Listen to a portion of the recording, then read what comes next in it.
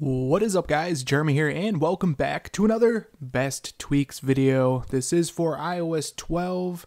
These are some of the coolest new tweaks that have been released. Uh, I've downloaded them through Sileo, but of course if you're on the uncovered jailbreak you can get them from Cydia as well.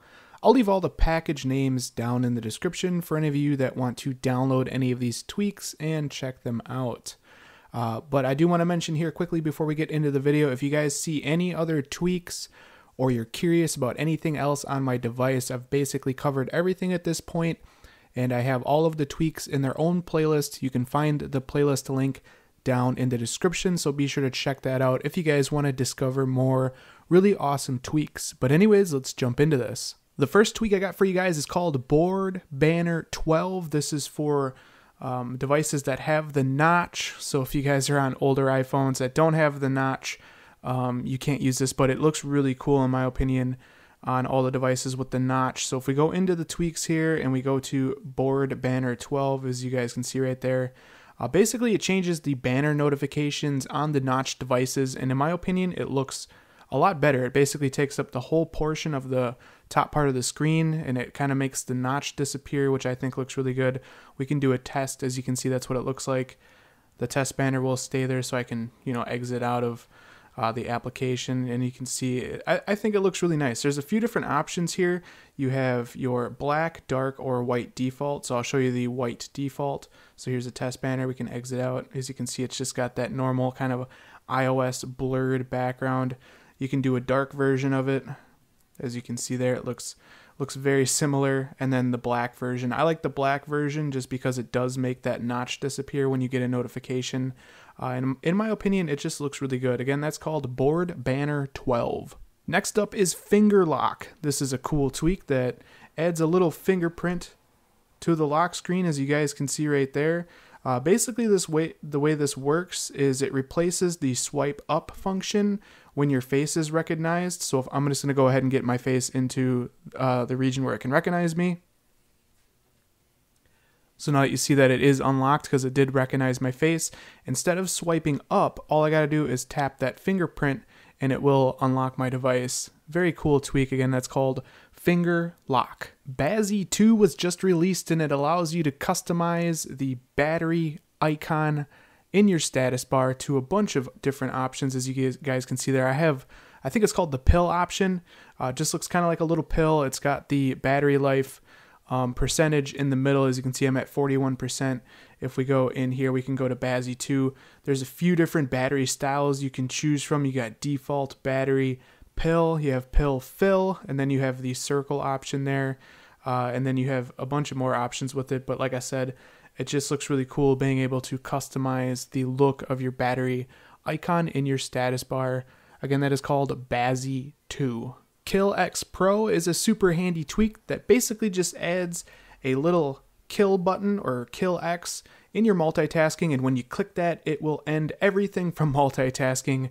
Super functional tweak, super simple. I really like it. Again, that's called Kill X Pro. Next up, we got 3D tools. So if we force touch on an application, uh, it gives us some more options for that application. As you can see, you can disable the banners, you can disable the notifications, uh, you can lock that application, so it will use um, your Face ID to unlock it, which is really cool. So you can lock down apps if you want. You can clear the cache, you can clear badges, and you can also uninstall the app from this menu. Uh, very handy little tool to have. Again, that's called 3D Tools. Crash Reporter is an application that's been around for many, many years. I've covered it in the past, um, and I think it's a very smart utility application to have on your device. If we go ahead and launch it here, basically it's going to show you um, what has crashed on your device. As you can see, I had a, a Tweetbot crash. Uh, you have app extension crashes, like if your Springboard crashes, this will tell you, um, you know, what caused it to crash. Uh, there's also services that could cause crashing and stuff like that. So if you ever have like tweaks or you know you have tweaks installed and you keep crashing your springboard, this app will probably tell you what tweak is causing it. So like I said, very handy to have. You can click into it and you can see um, all of the information about the crash that was picked up on your device. You can view a crash log, you can view the system log. It just allows you to figure out what is causing issues on your device very easily. Uh, and I highly recommend having this application. Again, it's called Crash Reporter. New Term 2 is another very, very new application, um, but it's basically an updated version of an old application. It's the updated version of Terminal, uh, and it is called New Term 2.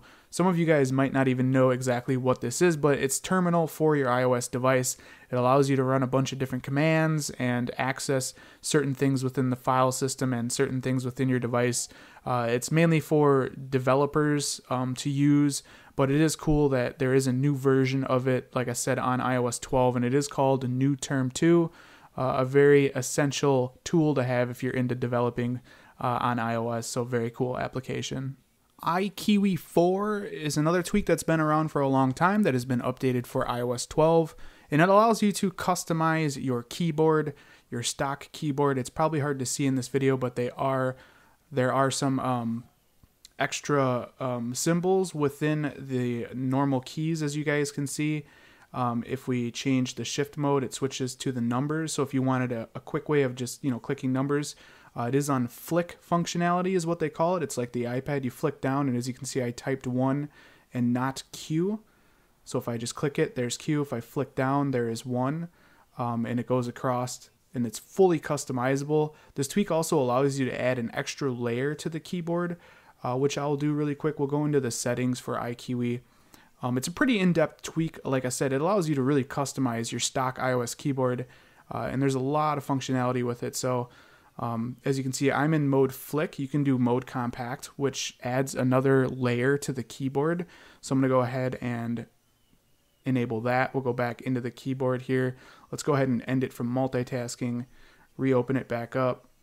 And as you can see now, there is an additional layer of keys on top that you can access without going, you know, between the different keyboards. It makes you know getting to your numbers much easier if you turn on turn off the shift button there. As you can see you have access to all the numbers.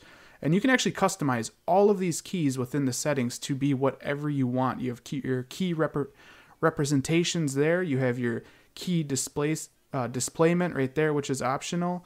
Um, and if you click into this as you guys can see you can customize what all these different keys are and really bring out a lot of functionality uh, out of your stock keyboard, which is really cool. Again, this tweak is called iKeywi 4. Badgomizer is a really neat tweak that allows you to customize the badges on your device, fully customize them. And there's a ton of options I'll show you guys here in a minute. But as you can see, my um, notification badge is basically just a little red dot. Uh, I took the number out. Well, I didn't take it out, but I made it really small and invisible to change the size of these notification uh, badges. So it looks like, you know, I just have little red dots and I like the simplicity of that. I don't need to see I have one, two, three missed notifications. I'd rather just see that I have a missed, missed notification in general. I don't need numbers. And then also the new or updated app um, blue dot has I've changed to kind of a little red square. It looks like it has a little tag hanging out the bottom of the application there. Though Those are apps that I've recently updated, and that's how I know they are updated.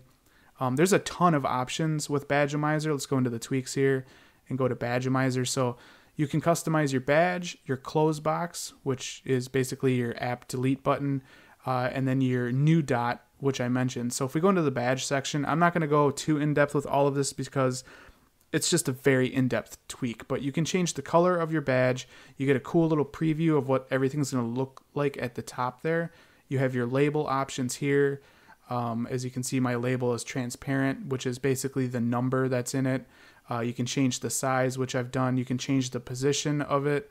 Um, you have border options. You have glow options.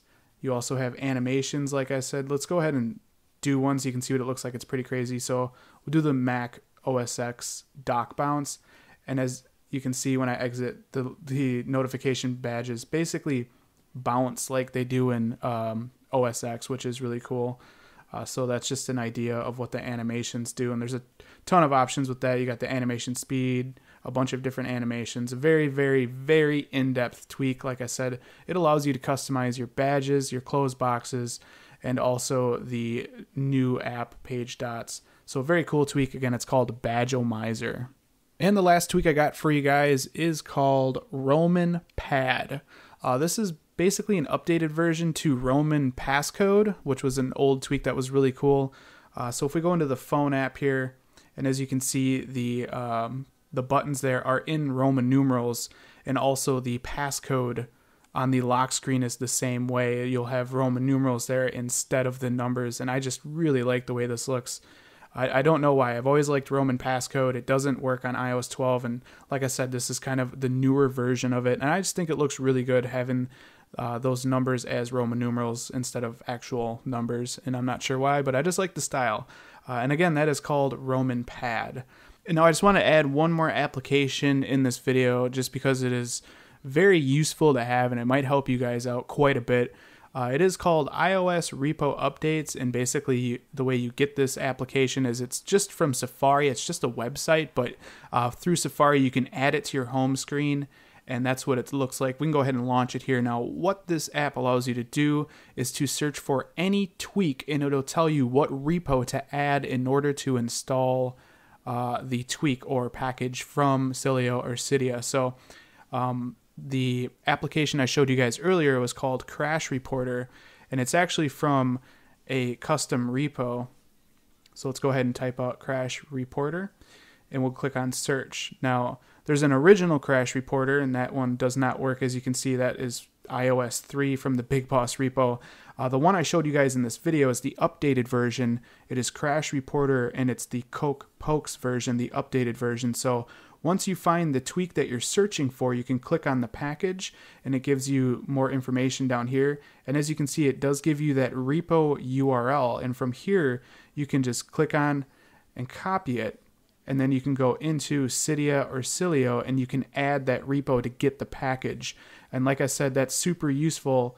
Um, you know, if, if you're trying to find a tweak or whatever, you know how it's spelt, but you can't figure out what repo it's from go into that application, type it out. You can add the repo, as you can see, automatically add. I already have it added, so I'm not going to do it, but it makes it really easy to add repos, to find tweaks, themes, whatever you want uh, that are through Cydia and Sileo directly through this application. So definitely worth having. I'll leave the link for this down in the description. I'll also leave all the names of the tweaks that I mentioned down in the description.